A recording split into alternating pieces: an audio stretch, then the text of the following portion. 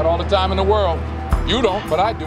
Welcome to Watch Mojo, and today we're counting down our picks for the top 10 unscripted Denzel Washington movie moments. Let the black man separate from his house. Let the black man have his own house. Let the black man have his own land and his own property. For this list, we'll be looking at some of the most impressive ad libbed performances of Denzel Washington, an actor famous for his improvisation. Do you agree with our improvised list? Say yes and comment below.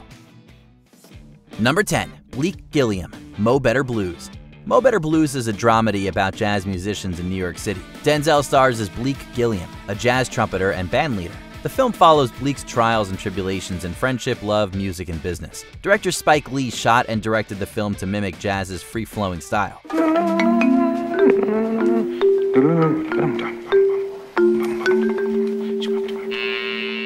He let his actors feel the rhythm and improvise constantly. As an actor famous for his improvisational style, this let Denzel shine. One scene at the heart of the film is a debate over the nature of jazz. All right, this is our music, right? Jazz is our music. It's black music. Now, here's people, we will go and watch some crossover uh, stuff that's created by other people, but we don't even come to see our own, man. Denzel and Wesley Snipes argue over their audience, their community, and their music. The personal and the political collide with great ad-lib performances. Ain't nobody listening. People are You got a listening voice. to my voice. I'm just nobody coming, complaining Bleek. that. What are you talking about? Nobody's Hey, you coming. just said- the you joint just is said- tight. I didn't say nobody's coming. Yo. I said our people aren't coming. Number 9. Bobby Balls, Two Guns. The 2013 action comedy Two Guns may not be Denzel's best known movie, but it's a wild ride. So, you in or you out? I'm in, yeah. Both he and co star Mark Wahlberg are known for going off book. Their chemistry is off the charts hilarious. In an interview with Collider, the pair couldn't really remember how much of what we saw was scripted or not. Saw that move coming? That's correct. Give me the keys. Damn, you're good. In the film, Denzel plays Bobby Balls, an undercover DEA agent. Deep into the movie, Bobby gets captured by a corrupt CIA operative played by Bill Paxton. Bobby's name is put to the test as his crotch is forced into a game of Russian roulette. That's an improvised scene that's hard to forget. AKA Bobby Balls. Clean and shaven. Number 8. Detective Keith Frazier, Inside Man. By 2006, Spike Lee and Denzel Washington had developed an easy rapport. Inside Man was their fourth team up, and it shows. Spike just lets Denzel be Denzel. Sergeant Collins, first on scene. The hostage negotiator. That's right, Detective Frazier. This is Detective Mitchell. What do you got? Through the many twists and turns of the plot, Detective Keith Frazier rolls with the punches, despite being a high concept heist movie. Spike doesn't shy away from tackling race. In one scene, Detective Frazier interviews a Sikh victim of the bank robbery. I'm not talking to anybody without a turban. It's part of my religion to cover my head in respect to God. I'm a Sikh. Okay, we'll find your turban. Not an Arab, by the way, like your cops called me outside. Inside Man was shot in New York only a few years after 9 11, and the film doesn't hide from Islamophobia. Frazier and Vikram commiserate over racial profiling in an incisive but funny unscripted moment. I really lost I my bet you can get a cab, though. I guess that's one of the perks. Put the ice on your face. Number 7. Robert McCall, The Equalizer 2. Movies and TV shows like Jack Reacher and John Wick feature heroes that are forces of nature. There are two kinds of pain in this world. When they come for you, they strike with the fury and thunder of a storm. Denzel's character Robert McCall does much the same in the Equalizer movies with one difference. McCall presents a quiet and calm threat. What you do, what you become is not my concern. The world is full of so-called men like you, and in a perfect world, everything we do comes with a price. He has a steady but terrifying presence. Director Antoine Fuqua, a frequent collaborator, had much praise for Denzel's ad-libbing. In The Equalizer 2, there's a chilling scene where McCall tells all his former comrades that he plans to kill them. The mistake you made was you killed my friend. So, I'm going to kill each and every one of you.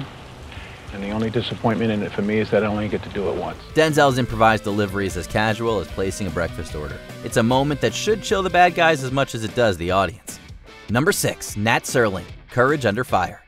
Denzel Washington once described improvisation as finding out who you are as a character in the moment. Sir, I just wanted to let you know that this is not just a rubber stamp situation. That approach fit perfectly with his 1996 film Courage Under Fire. In a Rashomon style movie, he plays an army officer tasked with finding the truth. The first Medal of Honor to be awarded to a woman for combat is at stake. Each member of her squad tells a different version of the story, and Denzel must wade through the lies. All the while, he's burdened by guilt. He accidentally killed the fellow tank officer in a friendly fire incident. God help me.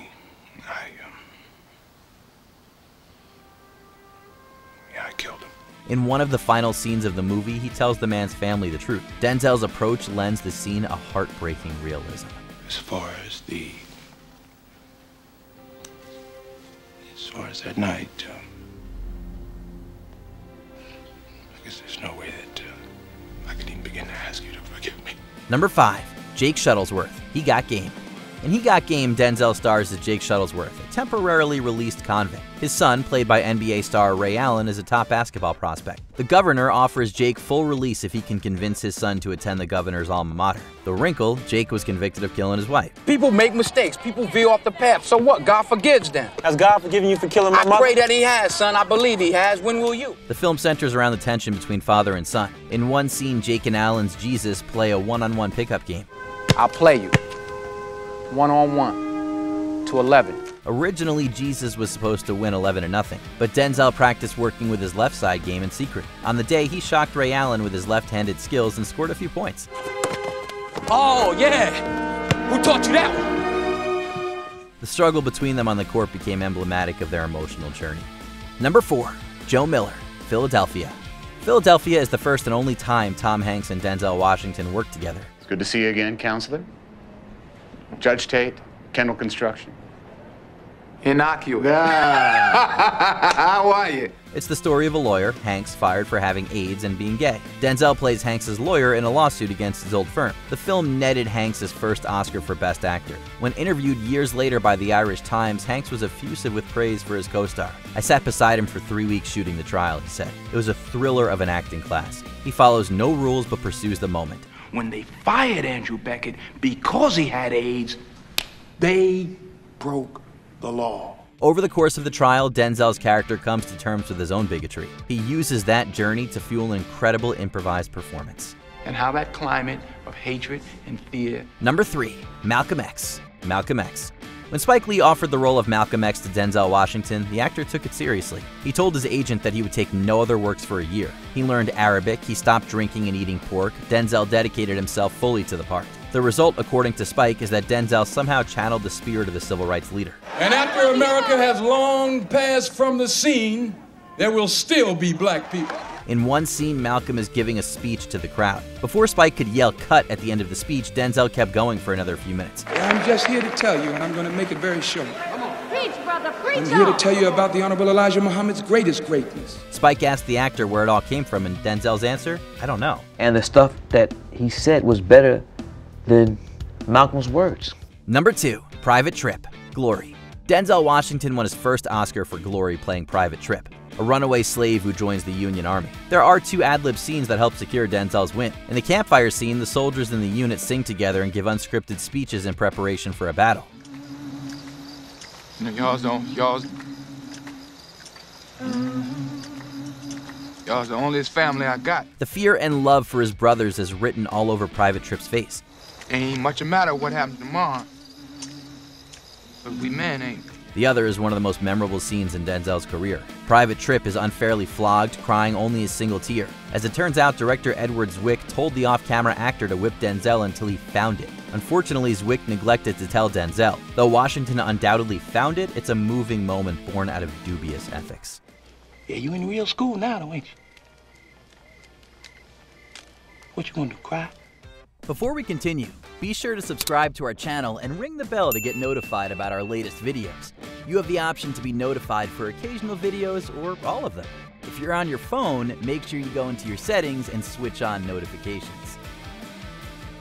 Number 1. Alonzo, Training Day. Detective Alonzo Harris is arguably one of the darkest roles in Denzel Washington's career. It netted him an Academy Award for Best Actor. Alonzo is a corrupt cop who rules his streets with an iron fist. Today's a training day, Officer Hoyt. Show you around, give you a taste of the business, you know? Drugs, guns, gangs, and money are the cornerstones of Alonzo's world. His trainee, Ethan Hawke's Jake, manages to overcome the odds to foil Alonzo's plans. Training Day was the first of several collaborations between Washington and director Antoine Fuqua. Fuqua learned quickly to let Denzel do his thing. The result, when everything falls to pieces around him, Alonzo gives his infamous King Kong speech. You think you can do this to me? Much of it, including the famous line, was off book. It's since become one of the most iconic speeches in movie history. King Kong ain't got on me. Did you enjoy this video? Check out these other clips from Watch Mojo, and be sure to subscribe and ring the bell to be notified about our latest videos.